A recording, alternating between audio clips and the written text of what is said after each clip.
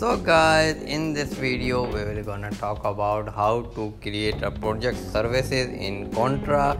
So as you already know that contra is a freelancing website. Without any further ado so let's go to the screen. So that's how you can see. So this is my contra profile. As you can see i'm optimizing my profile. So so if you haven't watched my previous video how to optimize or create your contra profile so you can check it out in a link in a description below or i button. So that's how you can update your profile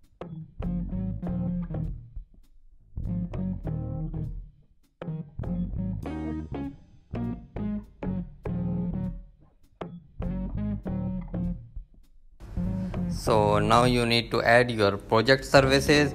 So you need to add at least one project for your profile.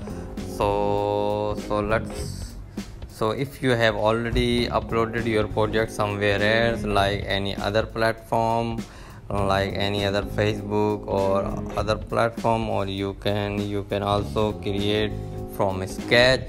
So right now i'm creating my new project. So let's create project from scratch. So now create your project services. So set your title. So this is my title design design youtube thumbnail. So i'm providing these services on contra. So you need to add detail about this. This is basically this is a kind of gig that you are providing to your client. So first you need to enter at least complete information about your project what you are going to deliver and what what services you are going to deliver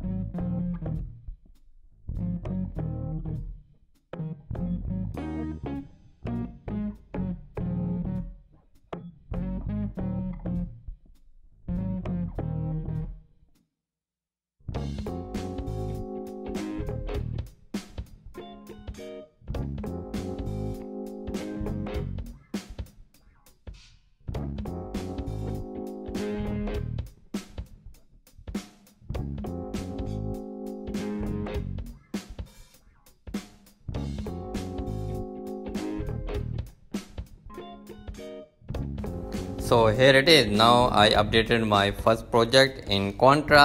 So that's how you can update your project in contra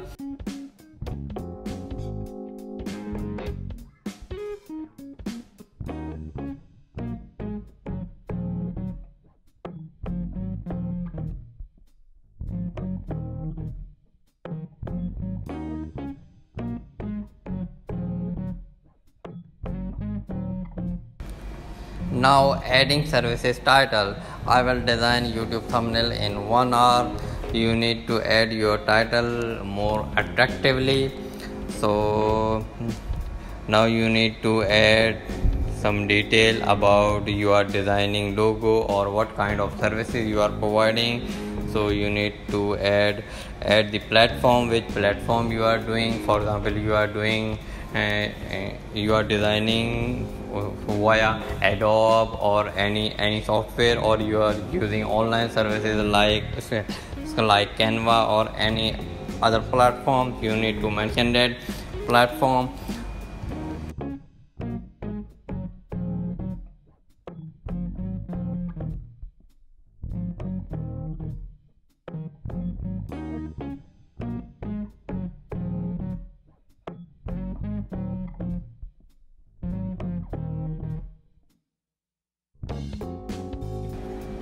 so then you need to set time frame or your pricing.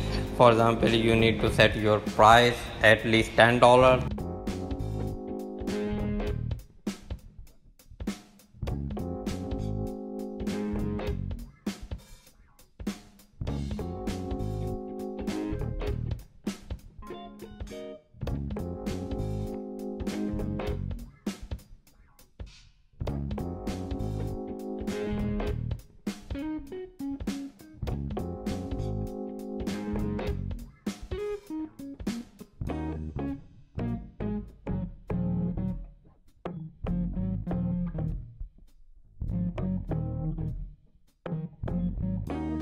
so that's how you can create your project services so if you like this video so please give the thumbs up